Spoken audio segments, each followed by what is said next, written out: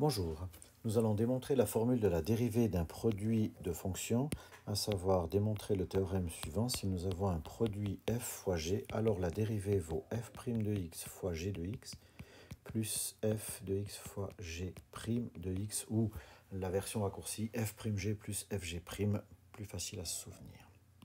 Alors pour démontrer ce résultat, nous partons de la dérivée de f fois g. On est obligé de partir avec la définition c'est la limite pour h tendant vers 0 de f fois g de x plus h moins f fois g de x divisé par h.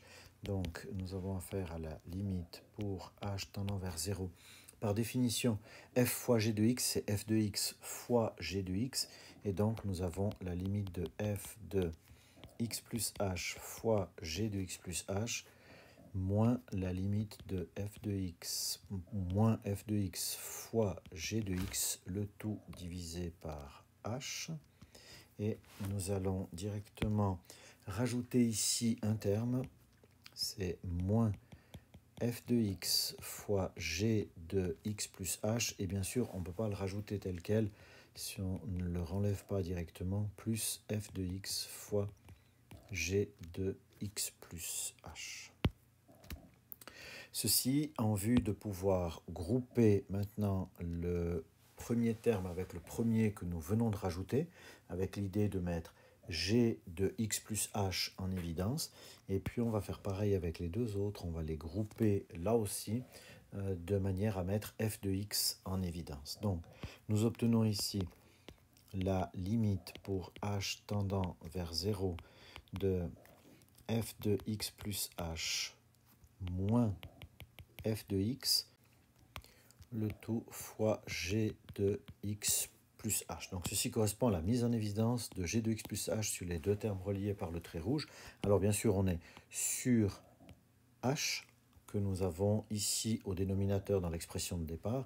Et puis on va reprendre une deuxième expression en la mettant directement sur h également, en regroupant les deux termes en jaune sur lesquels nous pouvons mettre en évidence f de x. Donc plus f de x fois, alors nous avons g de x plus h moins g de x, le tout sur h.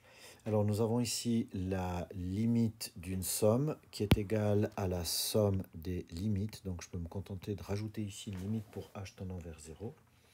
Et ensuite, si on regarde les deux éléments que nous avons, alors nous pouvons écrire ici limite pour h tendant vers 0 de f de x plus h moins f de x sur h fois la limite pour h tendant vers 0 de g de x plus h, puisque la limite d'un produit est égale au produit des limites pour autant que ces limites existent, plus limite pour h tendant vers 0 de f de x fois la limite pour h tendant vers 0 de g de x plus h moins g de x sur h. Et donc nous obtenons ici cette première limite qui est par définition f' de x, puis la limite pour h tendant vers 0 de g de x plus h. Si h tend vers 0, comme argument de la fonction, il reste x, donc cette limite vaut g de x, plus limite pour h tendant vers 0 de f de x. Ça ne dépend pas de h, donc directement f de x, et enfin, fois la limite pour h tendant vers 0 de g de x plus h moins g de x sur h, on est sur la définition de g'. Et donc nous avons bien prouvé le résultat. Avec le corollaire suivant, si nous prenons lambda fois une fonction, donc un nombre fois une fonction et que nous voulons dériver, c'est équivalent à dire nous avons f fois g avec f qui vaut lambda et donc dériver 0.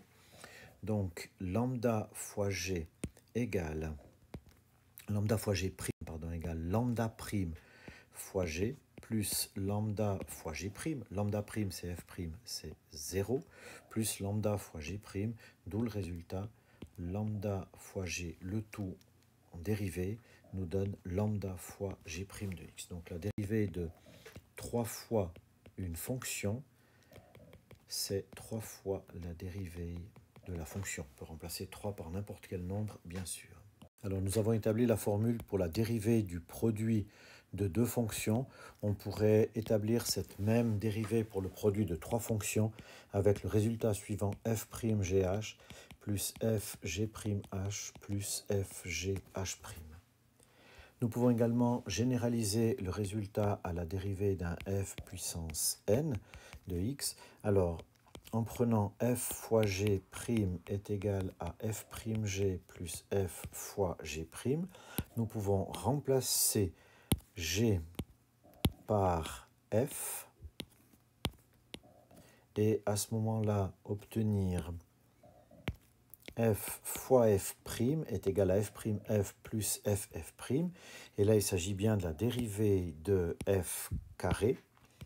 Donc, la dérivée de f carré vaut f' f plus f f', 2 fois f fois f'.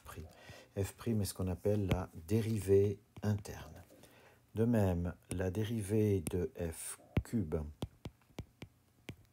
c'est la dérivée de f carré fois f, donc dérivée de f carré fois f plus f carré fois f', avec la dérivée de f carré qu'on vient de déterminer qui vaut 2f f', donc fois f, plus f carré fois f'. Donc on se retrouve avec 2f carré f' plus f carré f', résultat 3f carré f'.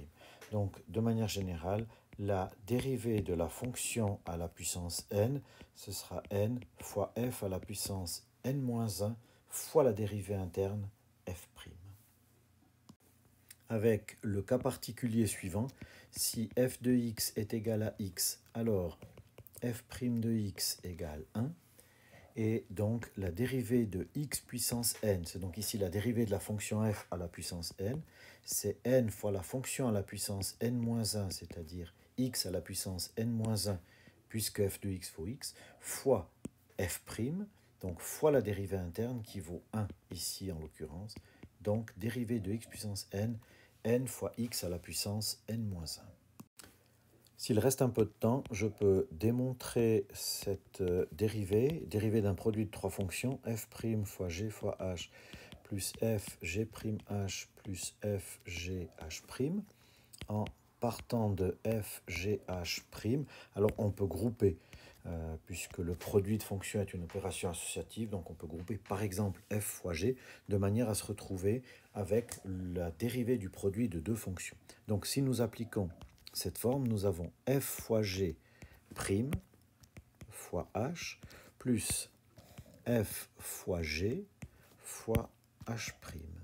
Et donc, la dérivée f fois g' qui vaut f'g plus fg', le tout fois h, plus f fois g fois h', et donc nous obtenons le résultat dont nous avions parlé tout à l'heure, f'gh plus f fois g' fois h plus f fois g fois h'. Voilà pour la dérivée du produit de trois fonctions.